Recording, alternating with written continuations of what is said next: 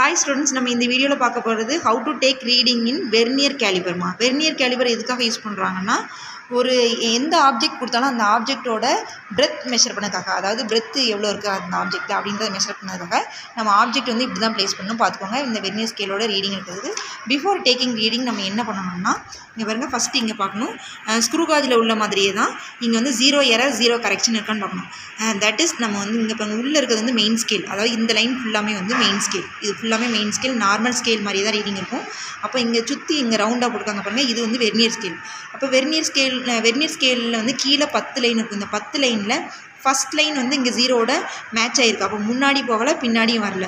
So that இந்த இந்த vernier கேலிபரில் zero error and then error ஜீரோன்றதுனால கரெக்ஷனும் வந்து நம்ம ஜீரோன்னு எழுதிடலாம். அதனால் நில்னு நம்ம இங்கே எழுதிருக்கோம் எரரும் ஜீரோ கரெக்ஷன் ஜீரோனால நில்லு நின்றுச்சு மோஸ்ட்லி வெர்னியர் கேலிபரில் வந்து எரர்ஸ் வந்து வராதுமா. சரி வந்தால் வந்து அதை நம்ம ஸ்க்ரூ கஜ் மாதிரி எழுதிக்கோங்க. அதுக்கடுத்து பாருங்கள் கீழே வந்து பத்து இது இருக்குது அப்போ பத்து லைன் வந்து ஃபஸ்ட் லைன் வந்து எங்கே பாயிண்ட் சரியாக இருக்குது இந்த ஜீரோக்கு நேரம் பாயிண்ட் சரியாக இருக்குது அப்போ வந்து இங்கே ஆப்ஜெக்ட் வந்து ப்ளேஸ் பண்ணுங்க. இந்த ஆப்ஜெக்ட் நீங்கள் ப்ளேஸ் பண்ணோன்னா பாருங்கள் இப்போ பாருங்கள் இங்கே வந்து என்ன ரீடிங் தெரியுதுன்னு பார்க்கணும்.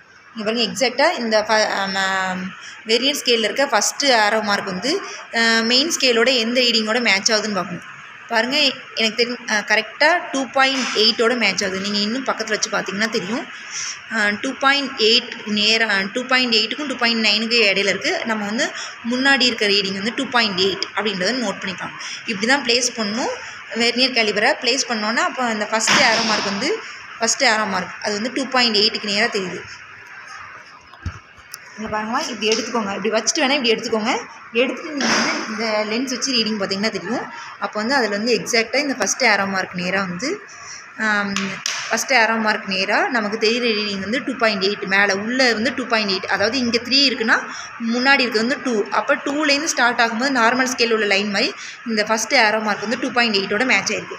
ஸோ தட் நம்ம என்ன எழுதணும்னா மெயின் ஸ்கேல் ரீடிங் அதாவது உள்ளே இருக்கிறது மெயின் ஸ்கேல் இங்கே ரவுண்டில் இருக்கிறது வெர்னியர் ஸ்கேல்னு சொன்னதுனால இந்த மெயின் ஸ்கேல் ரீடிங் வந்து டூ பாயிண்ட் எயிட்னு எழுதிச்சு அடுத்து பாருங்கள் கோயின்சிடன்ஸ் இந்த பத்து லைனில் வந்து எது பெர்ஃபெக்டாக உங்களுக்கு கோயின்சைட் ஆகிருக்குன்னு பார்க்கணும். அந்த கோ அதை பார்த்தா கோயின்சிடன்ஸ் எழுதணும் இங்கே பாருங்கள் அப்போ இந்த இடத்துல பார்க்கும்போது இப்படி மெயின் ஸ்கேல் ரீடிங்லேருந்து இங்கே கீழே இருக்க லைன்ஸ் கீழே இருக்க லைன் அதாவது கீழே ஜீரோலேருந்து ஏதாவது ஒரு லைன் கீழே இருக்க லைன்ஸ் வந்து கோயின்சிடாக இருக்கணுமா கீழே ஜீரோலேருந்து ஏதாவது ஒரு லைன் வந்து பெர்ஃபெக்டாக மேலே இருக்க லைனோட மேட்ச் ஆகிருக்கணும் அதான் வந்து கோயின்சிடன்ஸ் அப்போ இங்கே வந்து இங்கே கோயின்சிடன்ஸ் பார்த்து எழுதுனது தான் இங்கே ரீடிங் எடுத்துக்கேன் பா பாருங்கள் இங்கே வந்து டூ பாயிண்ட் எயிட்டு இங்கே வந்து ஒன்றுங்கிறது கோயின்சிட் இருக்குது அதாவது ஒன்லேருந்து பத்துக்குள்ளே தான் வரும். நீ எக்ஸ்ட்ராவெலாம் எழுத முடியாது.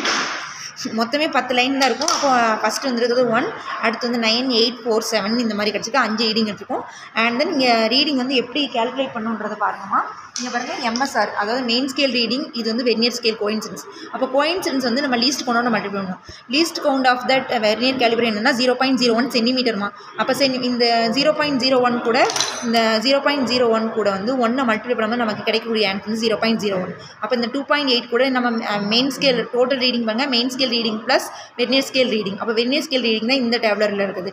மெயின் ஸ்கேல் ரீடிங் இங்கே இருக்குது அப்போ இந்த ரெண்டையும் ஆட் பண்ணும். டூ பாயிண்ட் எயிட் அது கூட நம்ம என்ன ஆட் பண்ணுவோம் ஜீரோ பாயிண்ட் ஜீரோ ஒன்று ஆட் பண்ணோம் நமக்கு கிடைக்கக்கூடிய ஆன்சர் வந்து டூ பாயிண்ட் எயிட் ஒன் அப்படி கிடைக்கும். லைக்வைஸ் இதே மாதிரி தான் மற்ற ரீடிங் எழுதியிருக்கோம். ஐ திங்க் உங்களுக்கு இந்த வீடியோ புரிஞ்சிருக்குன்னு நினைக்கிறேன். Thank you students